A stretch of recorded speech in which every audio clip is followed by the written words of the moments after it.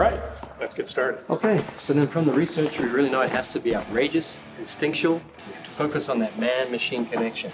But really, at the end of the day, it has to be badass. Okay, got it.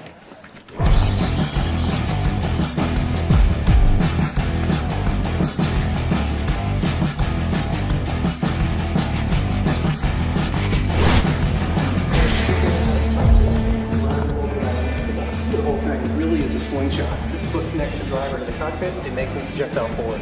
That's our concept. Looks great, let's go with it.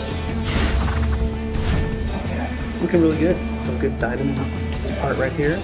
I like the concept of this piece right here. Coming together good. I think everyone should be real